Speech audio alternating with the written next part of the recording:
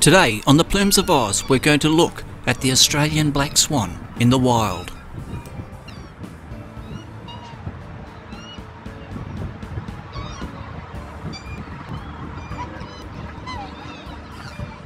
Waterfowl include ducks, swans, and geese, and these together form the family Anatidae. The order from which Anatidae come from are the Anseriformes, which really means duck-like in the Greek. So these swans have a flat bill and webbed feet. They are distinguished from ducks and geese because of the shape of the bill and the long neck.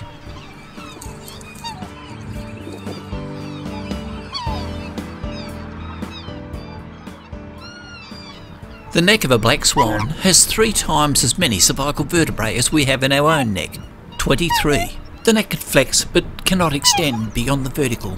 There is also some rotation ability, but no lateral movement. Swans as waterfowl live on the lakes. Their webbed feet are powerful, and with a long neck they can graze off the waterweed at the bottom of the pond feeding on the water plants and complex algal forms called stoneworts. The black swan is an Australian icon, being an emblem representative of Western Australia, where it was first identified by Dutch sailors in the early 1600s. Then the classic story of Willem de Vlamingh, another Dutch sailor who was also probably familiar with the West Australian coast. He was searching for lost sailors, and he went firstly to Rottnest and then up the Swan River in Western Australia, and there sighted large numbers of the beautiful black swans. So the river was named after this sighting in 1697, eight decades before Captain Cook sighted the east coast of Australia. Today we have expressions like when pigs fly. In other words, an adynaton or something that represents the impossible. And so in Roman times, the black swan was an impossibility. People knew well about the white swans, and the mute swan had a little bit of black around the eye. So the phrase, a black swan, represented a most unlikely event.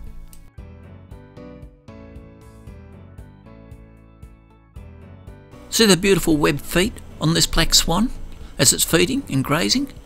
Most waterfowl have webbed feet, just like this pink-eared duck. And here, another Australasian black duck. Look at the webbed feet as it waddles along. Ducks and swans are both Anatidae as mentioned, belonging to the order Anseriformes. But there is one Anseriform that is not a member of the Anatidae in Australia, and this is the magpie goose. See these magpie geese perching on a stick? They don't have complete webbing of the toes, and so they don't belong to the Anseriforms. and having such peculiar feet they are in their own family, Anseranatidae. Now the black swan is really a pied swan, for it has white on the wingtips, and this has given rise to a lot of stories in the Australian Dreamtime. Dreamtime stories in Australia and folklore from the Northern Hemisphere about the swan share similarities, revolving about the character of swans, in particular beauty, love and elegance. Tchaikovsky's Swan Lake Ballet is all about love. The Australian Indigenous Dreamtime story has similar parallels to Hans Christian Andersen about the development of this beautiful bird. Hans Christian Andersen, the ugly duckling, turns into the beautiful white swan. The Indigenous Dreamtime story of Australia is about a white swan that is pecked, it has feathers taken by other waterfowl, but then the feathers are given back to it by the black crow and it metamorphoses back into a beautiful black swan with a red, blood-stained bill. And so the metamorphosis to the indigenous people of Australia from this white ball of fluff into this beautiful black, graceful bird shows the respect that cultures throughout the world have had for the stunning beauty of a swan.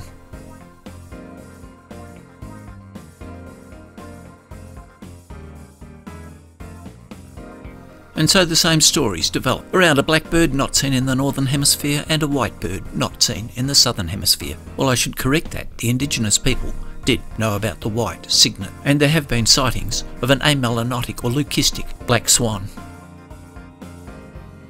The lifelong bonding of the pair of swans is exemplified in love poems, and perhaps the most important one of all is Tchaikovsky's Swan Lake Ballet, here performed by a pair of black swans. They aren't exactly ballerinas, but this is what a pair do in their routine rituals. The male is larger and has the longer neck.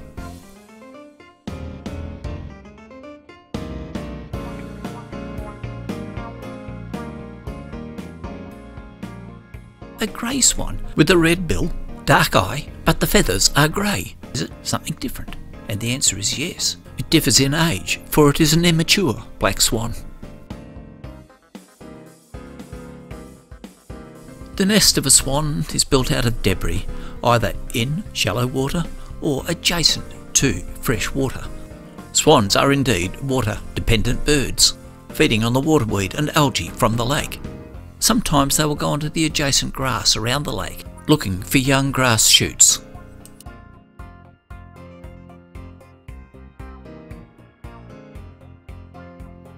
Another nest situated just at the edge of water.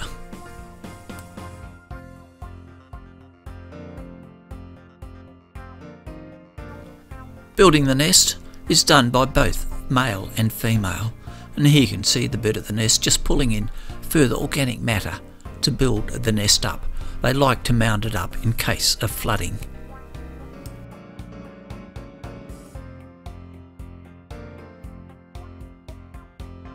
The pair takes turns sitting on the nest, but it is mostly the female. And after five weeks, the cygnets come out of the shell. They are white. And a baby swan is precocial, in other words, it will have to fend for itself. The role of the adults is to keep away predators. Swans, being wetland birds, like still water, for it is here that the water grass will grow and the algae multiply. And you can see the head of the swan constantly dipping below the water as they feed.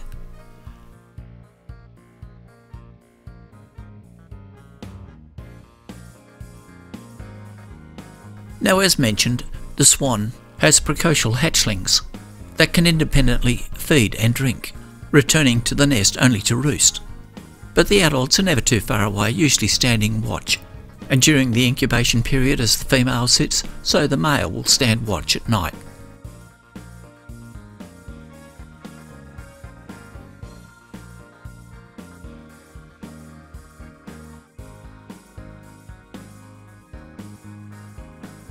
As the cygnets get older, they will move away from the nest and the adults will also move further from the young until they are finally fledged. After fledging, it may well be that the adults will go into a second breeding phase, and 70% of swans have a second clutch. And swans like duck will put their heads right under the water and their tails will point up into the sky as they feed. Cygnets always look so cute as they move their wings, learning how to get ready for flight.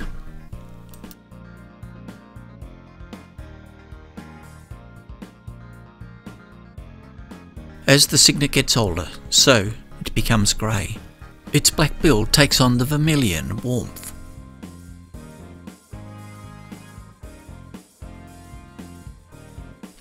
In the field, picking a male and a female swan is difficult. The only suggestion is that the male has a longer, thicker neck and is a bulkier bird than the female. Also, the bill is a little bit longer.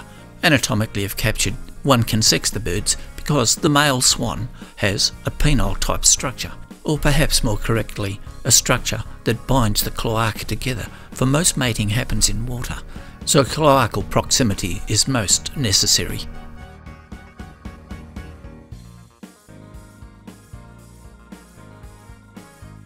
Swans can be found on both fresh and saltwater lakes, as long as the water is still and weed and algae are present.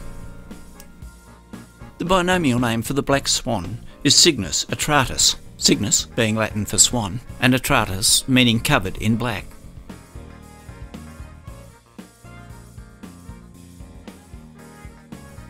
Here a family very close to fledging. The young swans follow the female. The adult male is still at the nest, waiting for them to return. You can see this is a good clutch of six birds, and in the distance, there is the adult male.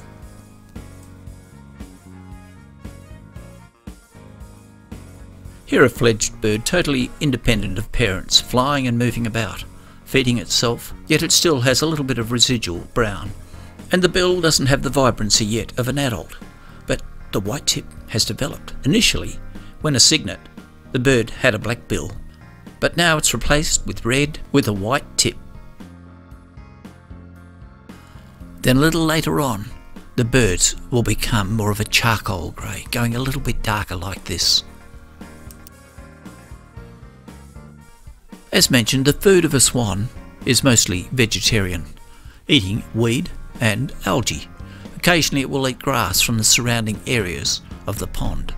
The question is how does this bird achieve a nutritional status from eating a celluloid material? Here these swans are feeding on decaying lily pads. You can see them swallowing the leaves. Now there may be some non-foliar food like chironomids or bloodworms, and these will be trapped in the bill by the lamellated structure of the bill and the rather prickly tongue, but for all purposes these birds are eating a celluloid material. Swans spend more time feeding than most birds, and it's thought because of the low nutritional value achieved from eating grassy material in the absence of a rumen, that swans derive their energy from carbohydrate by eating enormous amounts, for their gut doesn't produce enzymes that will break down cellulose. Remember that white ants break down cellulose with bacteria in their gut, as do ruminants. So the question has always been perplexing. How do swans and the other Anatidae derive their energy source? Well, a partial explanation has come from some Chinese microbiologists who looked at geese and the microbiota of their gut. They found that the organism in the gut did indeed break down the cellulose or the glycans into absorbable nutrient material, initially as the disaccharide cellobiose, and then following this, the traditional metabolic pathways of carbohydrate metabolism all of which involve phosphorylation, and there is an increased amount of ATPase in the gut endothelium of geese. So just like the termite, geese have bacteria in the gut that help in the digestion of their preferred food, that is watergrass and algae, and I suspect the same is found in swans.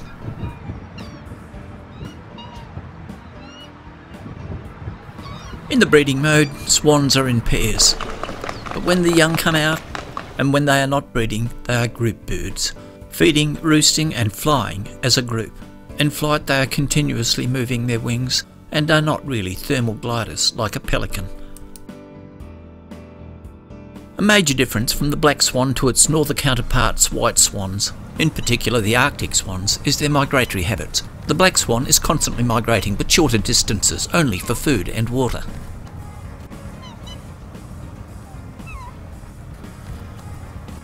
And watching swans in parks and lakes, one is always delighted to see them either land or take off. Finally, the call of a swan. In flight, they will call as a flock, but often when they're in pairs, they will call to one another, and the timbre of the call is a little bit like a bugle. As the term swan song suggests, it is the last song, and the bugle is often used for the last post. But irrespective of the origins of the term swan song, the call of a pair of swans is very melodic.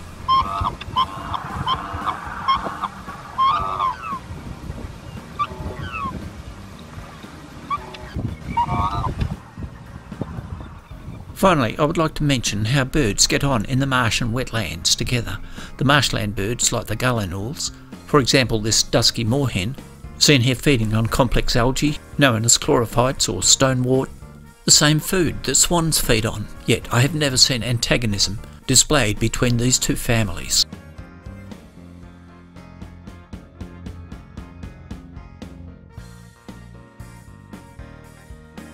On behalf of the Plumes of Oz, thank you for watching this video. This channel is all about birds in the wild. If you enjoyed the video, please subscribe. This will help us to bring you more videos. After subscription, you will get automatic notification of our next release by Plumes of Oz.